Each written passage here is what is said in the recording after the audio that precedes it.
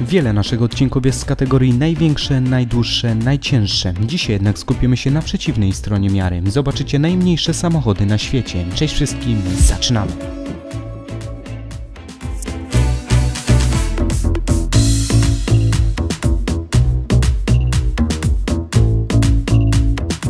Dzisiejsze zestawienie zaczynamy elektrycznym przedstawicielem indyjskiego rynku motoryzacyjnego. Przed Wami Rewa Wiz. Te 400 kg maleństwo napędzane jest nieco ponad 17-konnym silnikiem, który potrafi rozpędzić pojazd maksymalnie do 40 km na godzinę. W środku tego miejskiego samochodu znajdziecie raczej podstawowe wyposażenie niezbędne do poruszania się w mieście i bardzo niewiele miejsca na nogi. Jest również bagażnik, ale z zapakowaniem większych zakupów mogą być problemy.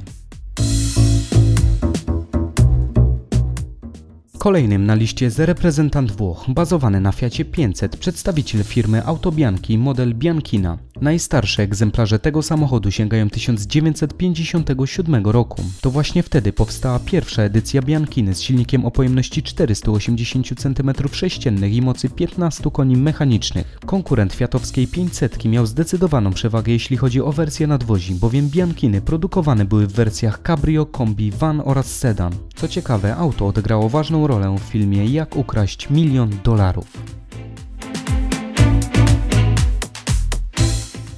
Przechodzimy do niemieckiego koncernu BMW, choć pierwotnie Izetta, bo o niej mowa była pomysłem włoskiej firmy ISO. Bawarczycy po wykupieniu praw licencyjnych wstawili do tego malutkiego pojazdu swoje silniki o mocy 12 i 13 koni mechanicznych, co przy masie samochodu nie przekraczającej 400 kg pozwalało rozpędzić się do 85 km na godzinę. Dla bardziej wymagających klientów powstała również specjalna, mocniejsza wersja generująca prawie 20 koni i rozpędzająca się do 105 km na godzinę. Niezły wynik jak na maluszka sprzed ponad 60 lat.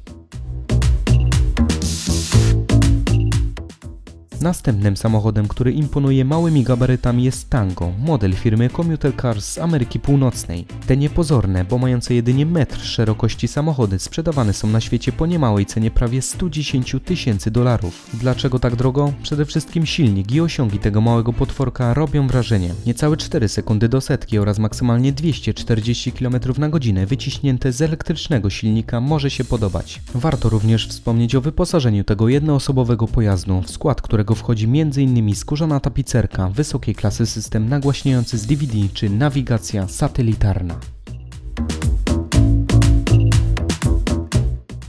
Dzisiejszy odcinek kończymy oczywiście rekordem Guinnessa w dziedzinie najmniejszych samochodów produkowanych seryjnie. Chodzi oczywiście o model PIL P50. Ten trójkołowiec ważący zaledwie 60 kg posiada miejsce dla jednej osoby i ze względu na swoje wymiary, czyli metr szerokości, metr 30 wysokości oraz metr 40 długości, nie będzie to raczej żaden koszykarz. 4,5-konny silnik pozwala rozpędzić pojazd do 60 km na godzinę, co powoduje niemały has w pojeździe. Co ciekawe, samochód nie posiada biegu wstecznego, więc lepiej dwa razy się zastanowić przed zmianą kierunku.